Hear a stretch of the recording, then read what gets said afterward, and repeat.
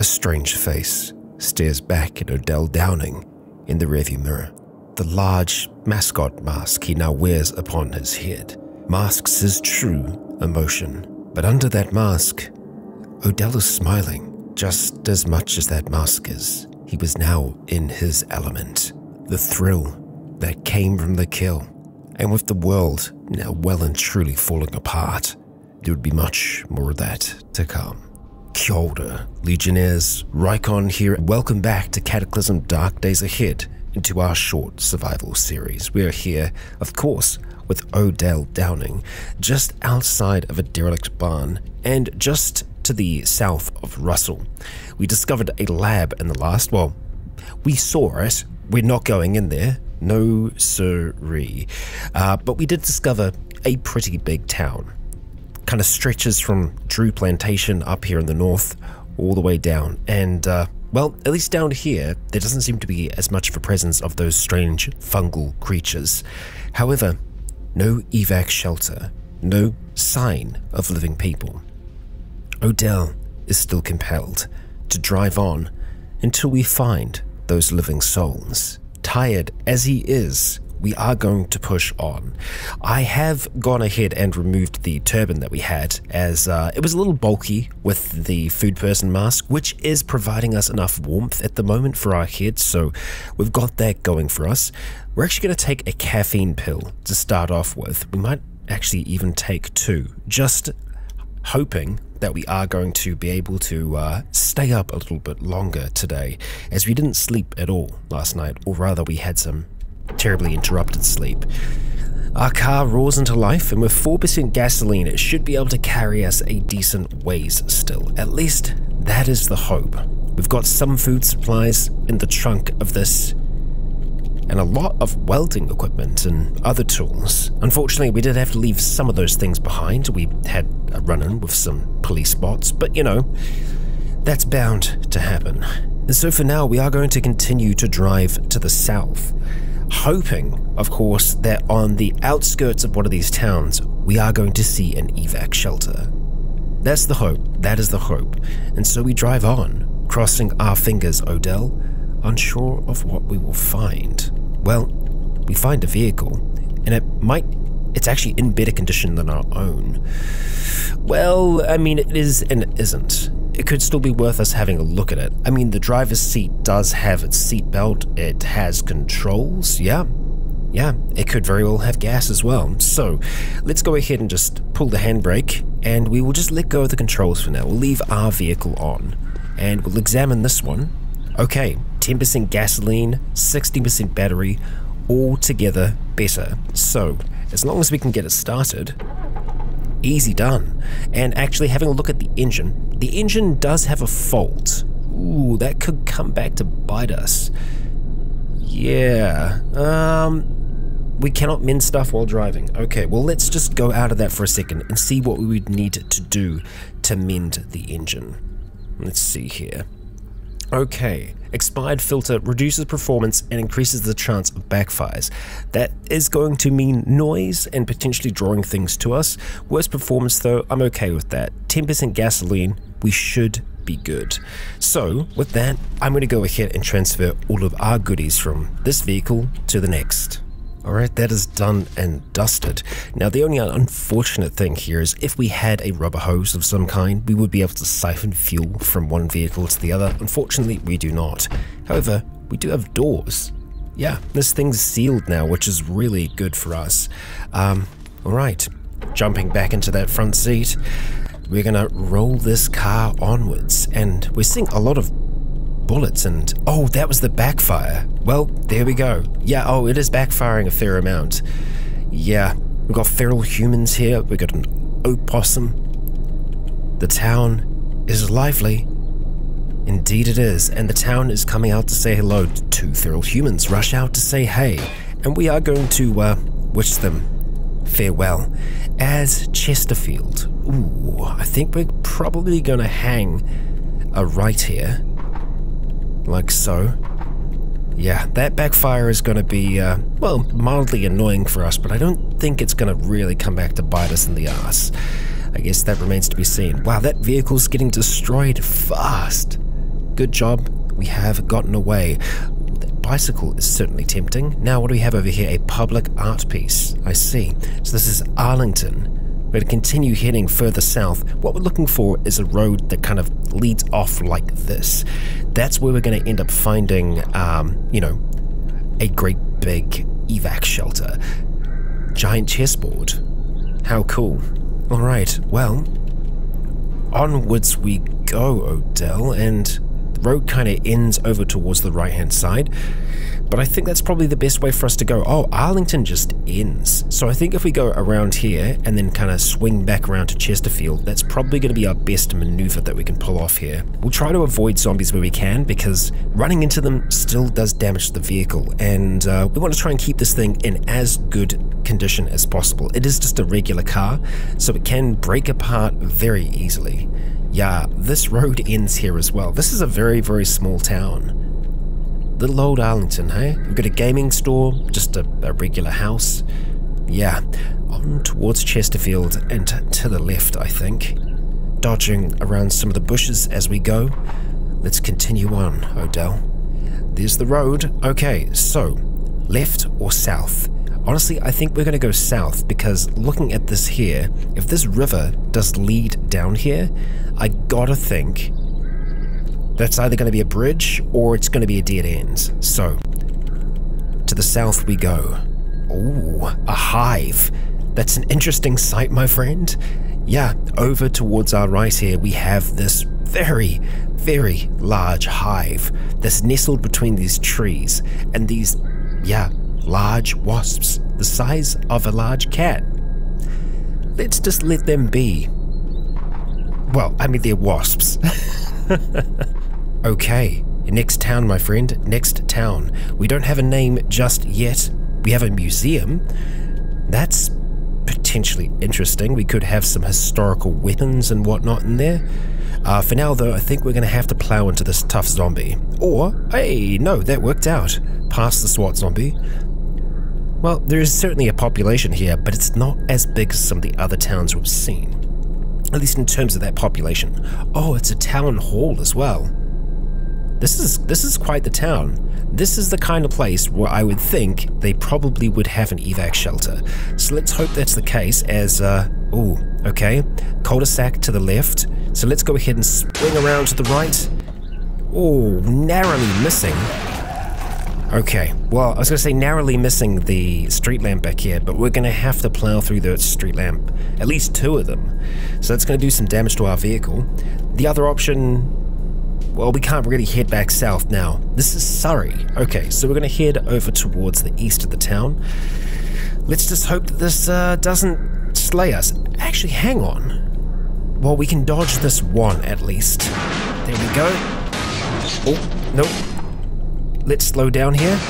Need to get control of the vehicle again, and now we need to speed up because we need to slam through this. There we go. We lost a little bit of the vehicle, but we are still rolling along. Okay. Look at all of those animals. Bizarre. Okay, squirrels, crows, ravens, they're all just flooded around this vehicle. We got a small graveyard here and something else, a giant ladybug. Well, okay, we are going to continue over towards the east. Ah, Sullivan, an entirely different town. Well, let's keep on rolling. Sorry, rabbits, Oh, yeah. I don't think Odell cares that much, so now we need to make a choice east or south. Well, east is going to take us out of the town. Maybe that's better. We can kind of just drive around the outskirts. Yep, pushing aside those two uh, feral humans, we've got quite the vehicle in front of us. Wouldn't mind taking command of that. What is it that we're looking at here? It's an armored personnel carrier. yeah, I mean, that would be rather nice. It does seem to have wheels, so the possibility for us, to, you know, to drive that out of here is, is certainly there. But the amount of dead, yeah, I think we'll come back to that. So, let's take our backfiring vehicle, and we're just going to drive around the edge of the town here, see what's going on, drawing a lot of the dead to us. Okay, more houses down this way as well, and what looks like apartment towers. Yeah, do we stick to the... I think we stick to the east. let's just stay on the outside, see what we got going on. We might be able to find a radio tower, something that will give us sight of the area. We do have a road that continues on towards the east. Okay. Let's follow that for now. We know that we can come back to Sullivan and Surrey, as they seem to have a pretty decent population, but there's always a chance that we could find exactly what we want. I think so. An evac shelter. C41. Okay, Odell. With that in sight, that smile underneath of our helm grows. And damn, that's a big field. That's a lot of harvesting that could potentially happen there if we were to stay in this area for a while. We're going to stop our noisy vehicle and, well, let's see if anyone's home, Odell. Closing the door behind us. What do we got? This is an evac shelter, folks.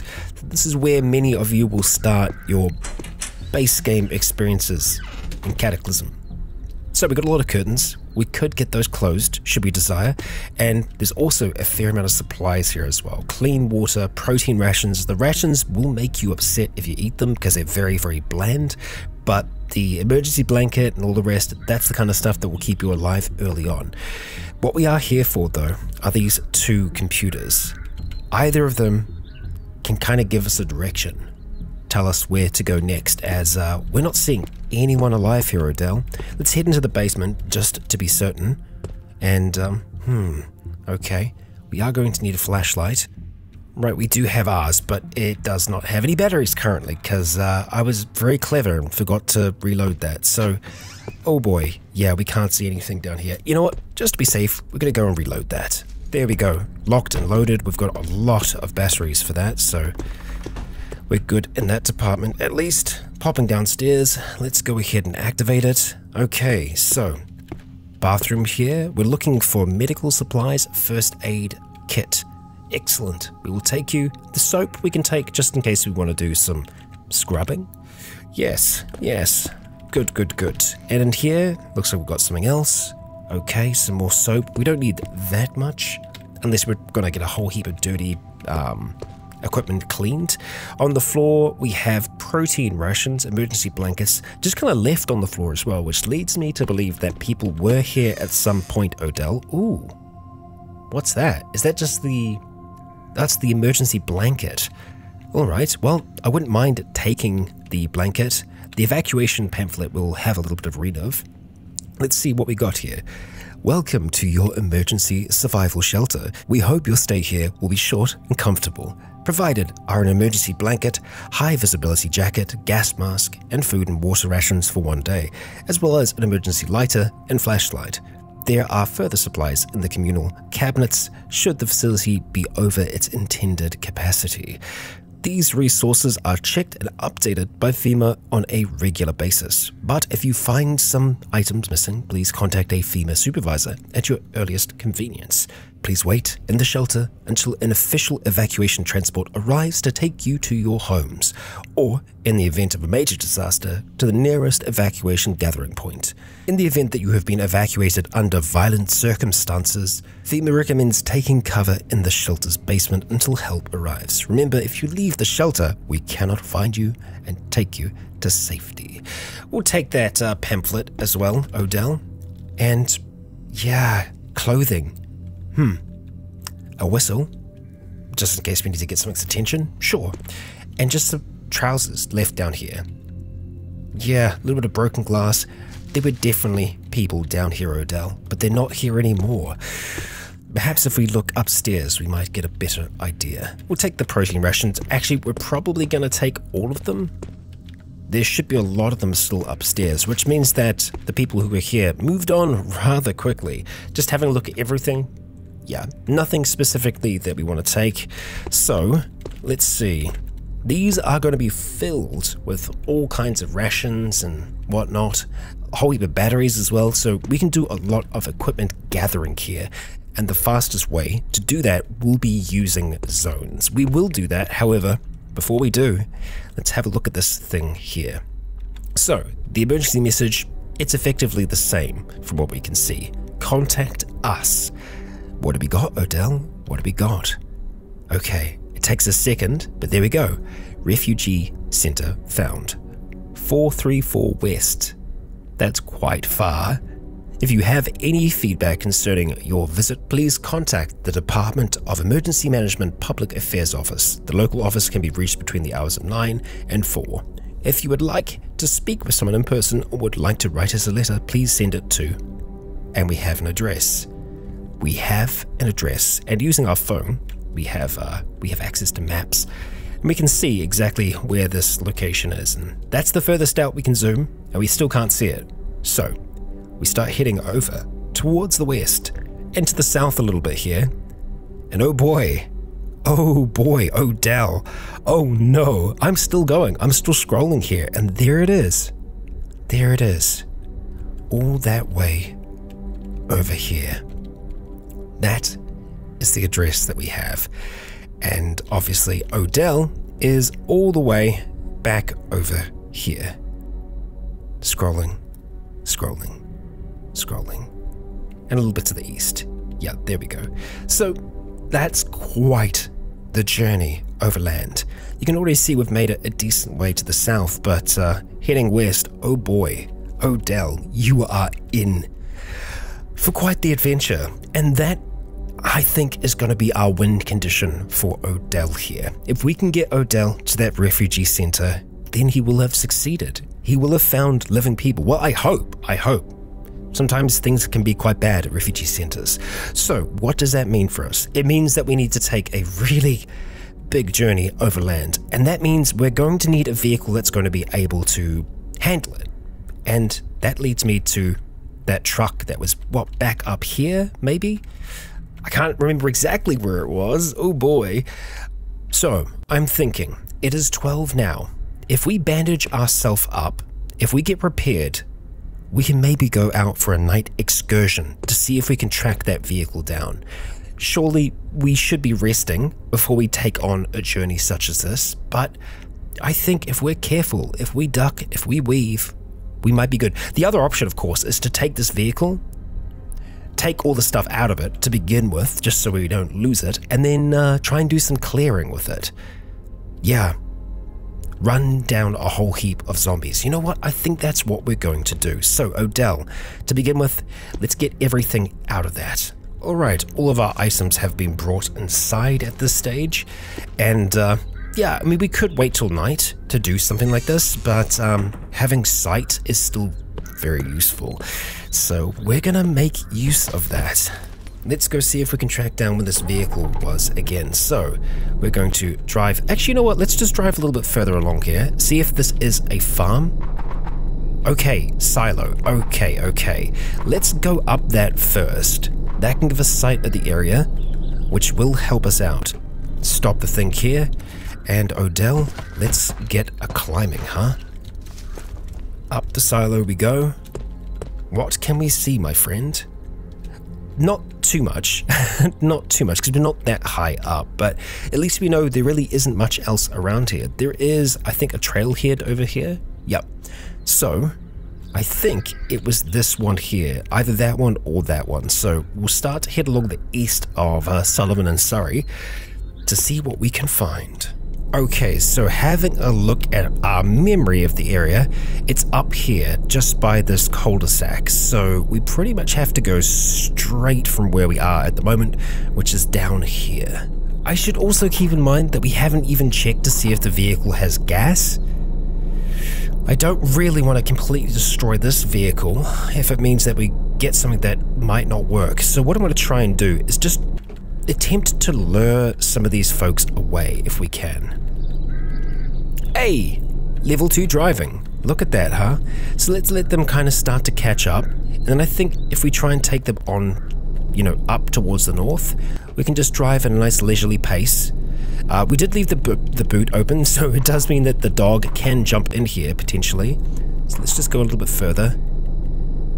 And then I think the idea will be to really step on it try and break our line of sight with them.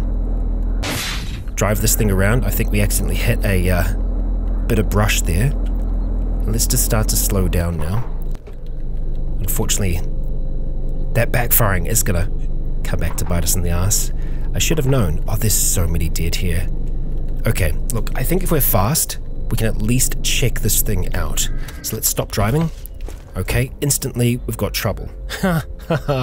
Not what I wanted. Not what I wanted. Okay, we're going to start running for now? Well, no, we shouldn't. We should only start to run when we really need to run. Hmm. Though I want to try and fight you just one on one. Or just shoot you. Oh, that is the, uh, that's the difficult choice for us to make right now. You know what? We've got a fair amount of armor. We should try and take them out. Okay. Nope, nope, nope, nope, nope. Okay, so looking at this now, that is... We want to be gone from here, and we really do want to go. So, we're actually going to start to run back. That uh, dog is probably going to catch up with us here, unfortunately. There ain't much that we can do about that. Uh, I'm probably going to want to try and shoot it before it actually... before we take a step. So, we're going to let it get nice and close to us. There we go. We're going to jump in, close that door, and we are going to get out of dodge, my friend. Let's start reversing. There we go. So, hmm. Do we want to use the vehicle to try and ram them all down? I guess the other thing that I could try and do here, and it is a little risky, first of all, start to walk. We could do a little bit of a drive-by investigation. It's possible it's difficult, but it's certainly possible. Man, there's just, there's so many dead here. This is too risky. It's too risky. Alright, we're gonna start to reverse. We managed to catch one zombie with us. I think it's actually the one that was coming for us to begin with. To start off with. Okay, let's just go. Decent shot. I think it will probably bleed out. Bleeding torso. I don't really want to waste another bullet here, so I'm just going to go ahead and stop the vehicle, stop driving course it did get an attack in there. Alright, Odell, that's fine. This thing could bleed to death, but I don't think we're going to take the chance. Stop aiming. Let's just try and fight through it. And take the shot. Yeah, just a straight up miss. That's unfortunate and annoying. And we're grabbed as well, to make matters worse. Um, I'd like to open the door if we can. Although I know that can take time. Right, tries to penetrate our armor. Fails. And the others are on us already. Screw this. Screw this. Ignore. Try and keep some steadiness. Fire. Let's go. Let's go. Let's go. Let's go. Odell. Oh boy. Okay. Forwards we go. Holy crap. Okay, this is why you don't drive around with the boot open.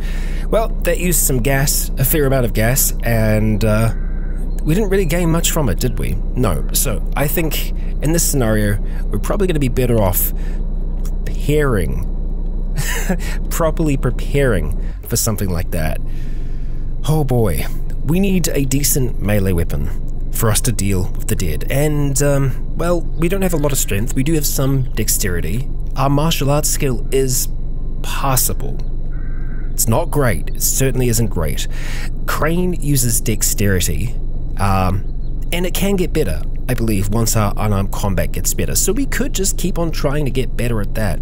You know what? I think that's what we're going to do for now. We're going to close up the rear of this here. We're going to go back inside. We should be safe here.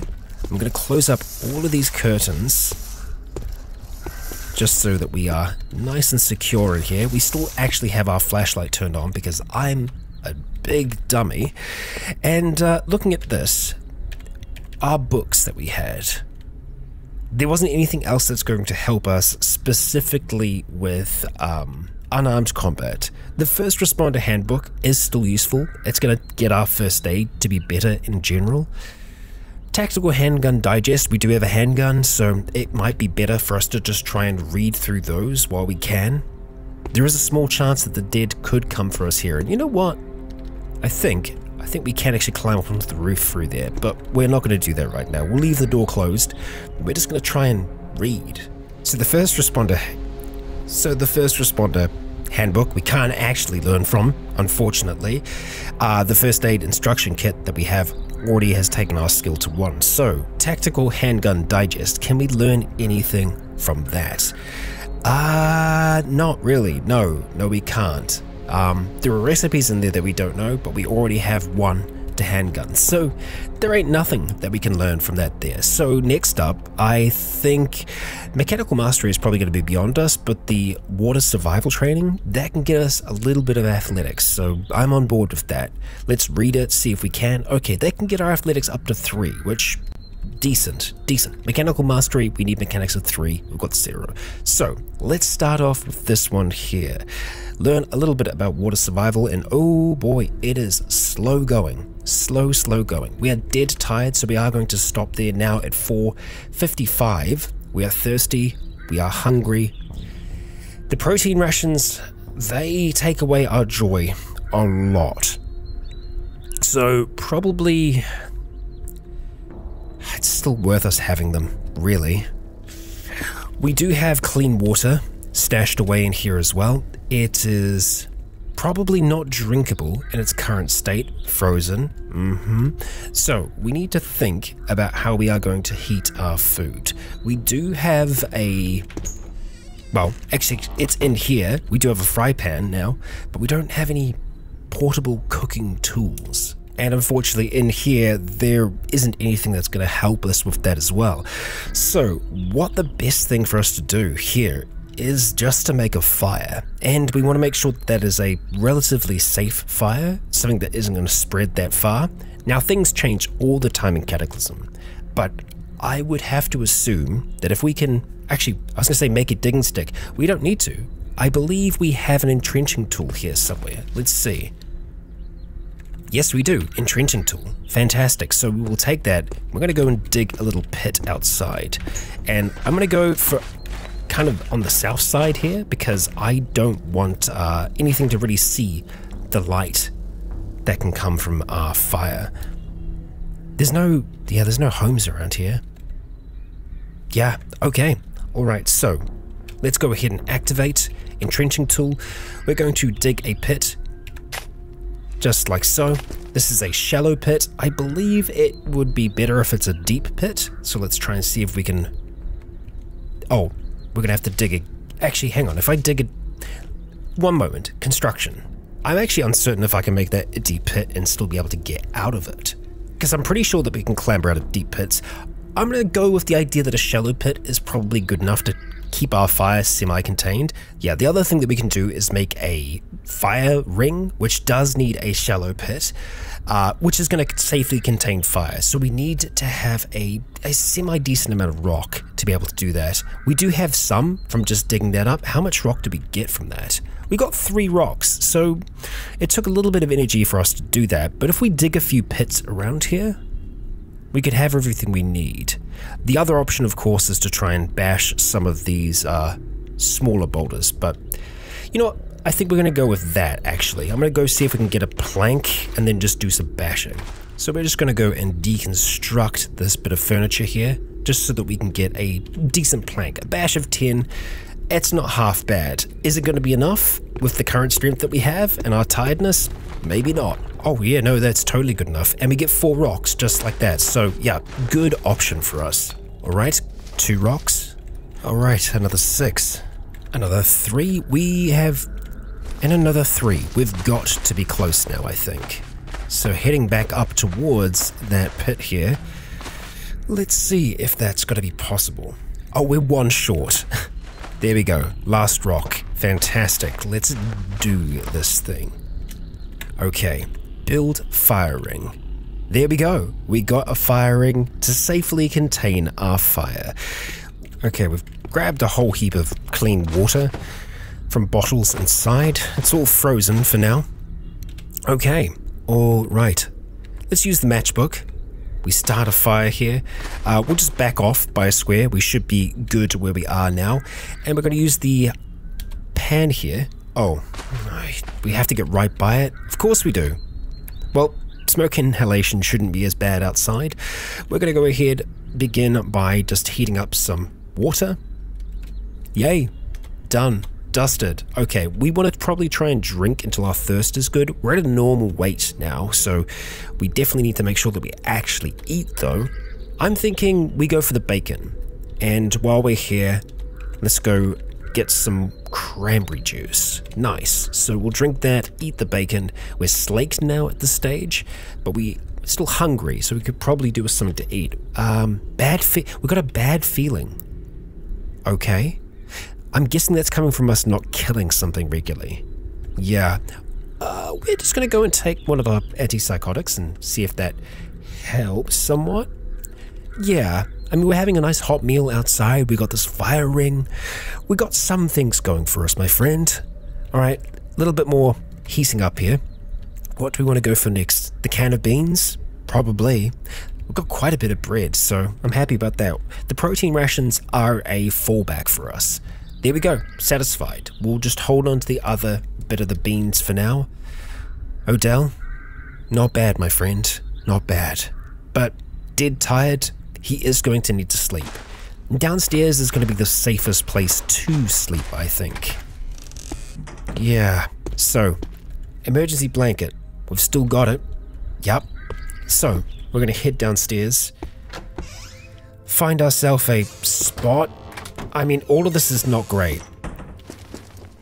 It's not going to be comfy, just on a bench. We could sleep in the car, but I don't know, there's just something about being down here. It's dark, it's quiet, it's calm. Let's activate the emergency blanket so it's on the floor just beneath us. Okay. And with that, I think we're going to try and sleep. But let's just let's take off our our helmet before we do. Yeah. There we go, Odell. A little bit more comfy. I was going to say let's sleep, but just before we do that, let's head back upstairs. We're not going to sleep without our rifle. We don't have as many shots left for it now, but it is giving us a kind of comfort. I think sleeping without it, it's not going to sit so well for Odell. Okay, and so with that, let's say we are sure we want to sleep. Let's just check our wounds. Ah, no. let's go ahead and bandage our head and torso. Head first, and torso second. There we go. So they should heal up just fine. And this time, we will start to sleep. No setting an alarm, we finally fall asleep, and I bet it feels good. I bet it feels good. The day rushes by. Just one more death, one more kill, and we'd be right. And we wake up. It's 3.50 in the morning, very hungry, still tired. We heard a thump, Odell. Where did that thump come from? We go to our inventory. We activate that flashlight. And let's go and put on our mask. Yes. Was it from upstairs? Or was it the store here? We clutch the rifle close. Okay. Not down here. Has to be upstairs then. We peek. All is clear. Nothing's in here yet. But we definitely heard a whump. Or did we? Was it our imagination? We opened the front door, our light illuminating the night. Our fire now extinguished. Heading right around the property, we see nothing. No one is here, Odell. Just you. We close the door. There is one more door. This one up here, it's locked. I think, compelled, needing to know, Odell is going to start to bash this thing down, making noise himself. No one's here, just a ladder. And no one's on the roof either. Just you, my friend. Just you. And so, we make our way back downstairs.